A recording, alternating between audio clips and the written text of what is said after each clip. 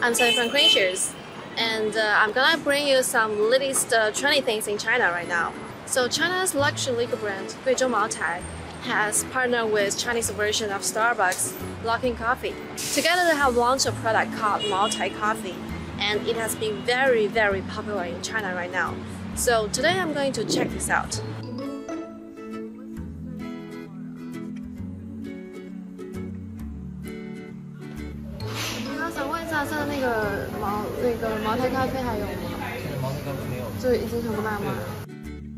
After this one, I also checked several stores, but the only thing left is the paper bag that used to contain the Moutai coffee.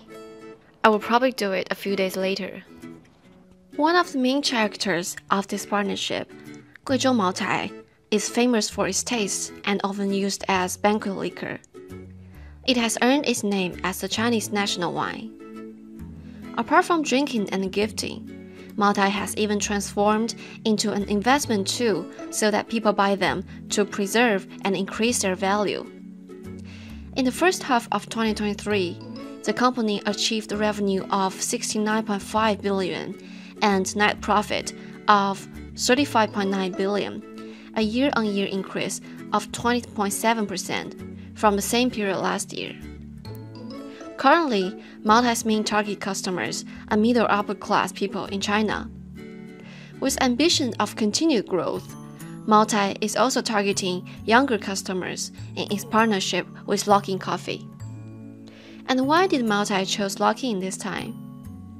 After delisting in 2020, Luckin almost collapsed. After the remediation and reform, both internal and external, Today's Luckin can even compete with Starbucks in China, with its 10,836 stores, which is 4,000 more than that of Starbucks.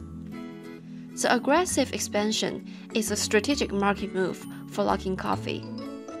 Unlike Starbucks, whose stores are all company owned, Luckin Coffee take a different approach. Their stores include both self operated stores and franchises. Besides, Luckin Coffee also operates a grab and go model, where customers can order from the app and pick up their orders at the store. This is taking its deliveries. It's very fast and effective, and you don't need a really large space just like Starbucks.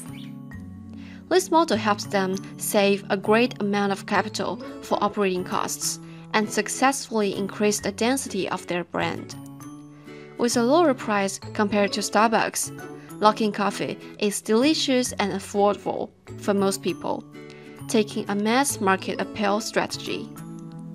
Apart from the numbers of the stores, the revenue of Luckin Coffee is also growing rapidly. Luckin's total net income in the first half of 2023 was 10.6 billion, a year-on-year increase of 86% joint innovation between brands can better stimulate the consumption market. The cooperation between Moutai and Luckin has been a huge success so far. On the first day of its coffee launch, Moutai Coffee sold over 5 million cups, with sales exceeding 100 million.